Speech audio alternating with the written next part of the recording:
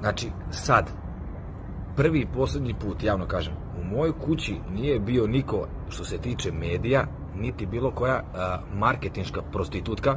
Marketinška prostitutka vam je ona a, ženska osoba koja će sve uraditi zarad marketinga i portala, a moja kuća je sita kurvetina, a, razvučenih po ulici, realitiju i ostalim prostorima, tako da što se tiče svih navoda i svega što se kaže, uopšte nije istina. Moja devojka, trenutno koja je, sad naravno, pored mene, naravno neće vam pokazati, baci samo ruku, molim te, pokaži nove nokte.